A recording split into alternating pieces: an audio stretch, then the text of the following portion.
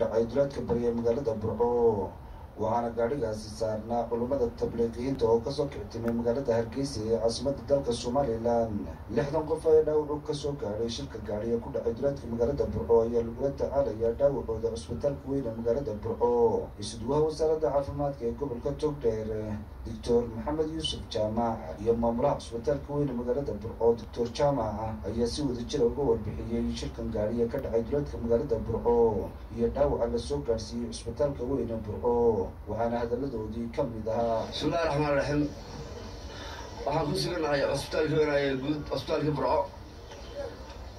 Waxaan na soo gaadhay gaari dhacay dhaawaciisii oo ka koobnaa toban qof.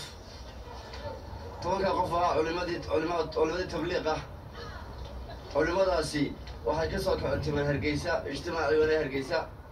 Waxaanay khuruj ugu hayeen buuhoodle oo ay ku socdeen tobankaa qof ee gaadhigu la dhacay lix qof oo dusha saarnaa oo seydhmay ayaa xaaladooda uga culus tahay lixda qof saddex ka mid a aad bay xaaladoodu halis u tahay. Waxaanu kula tacaalaynaa oo ay yaalleen qaybta emergencyga cusbitaalka burco insha allahu tacala ilahay waxaan ka baryana ilahay caafimaad sareecan siiyo. Ilaahayna waxaan ka baryana ilaahay waxa weeyaan ka kor qaado. Inta kale afar qof oo ka mid a way caafimaad qabaan. Xagtina may soo gaadho shirkay saarnaayeen laakiin lixda qof ee dusha saarnaa baa xaaladoodu ay aada culus tahay.